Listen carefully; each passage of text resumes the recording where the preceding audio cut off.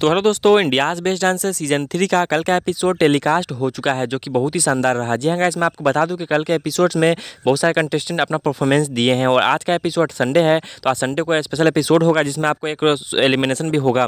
तो गाइस मैं आपको बता दूँ कल के एपिसोड में हमारे समर्पण लामा ने भी परफॉर्मेंस दिया है अपने अपने कोरियोग्राफर भावना मैम के साथ में।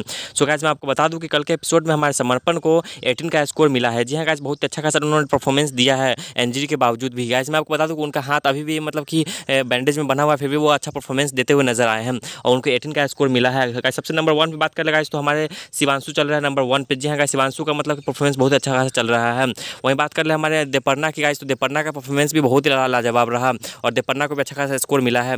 तो गाइस मुझे आज का एपिसोड जो होने वाला है गाइस संडे स्पेशल जी हाँ गाइस तो आज का एपिसोड में हमारा एलिमिनेशन भी होगा, जो कि बहुत ही इमोशनल और बहुत शॉकिंग होगा। तो गाइस कौन कौन से कंटेस्टेंट बॉटम में हो सकते हैं बॉटम थ्री में, और कौन से कंटेस्टेंट का एलिमिनेशन हो सकता है, आप मुझे कमेंट में ज़रूर बताइएगा।